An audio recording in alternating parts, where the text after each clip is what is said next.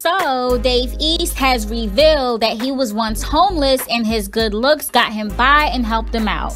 He told Page Six, who caught up with him after a show, verbatim, Yep, I have had the experience of being homeless. I had slept in cars for a minute. I was homeless throughout the whole year. It was more that I did not want to ask my moms and pops at the time for help, and I felt like I was grown, so I went through my little phase. But even though he was down on his luck, he said, I am not going to lie, my looks helped me. I stayed with a couple of girls. Shout out to them, they know who they are.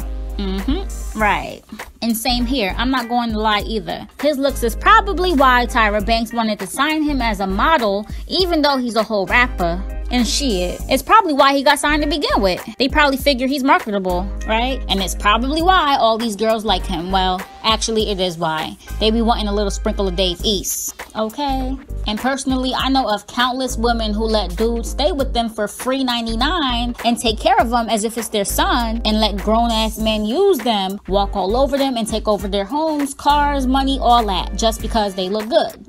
So in this society, yup, Dave East is right. His good looks definitely helped him get by, and in his case, when he was homeless. What are y'all thinking? And how many of you notice that you get treated according to how you look, say if you keep yourself up or whatever? Leave your overall thoughts below and don't forget to like, share, and subscribe to this channel for more. Like and follow facebook.com slash petteablog. And don't forget to hit that bell to join the notification gang. petteablog.com signing off.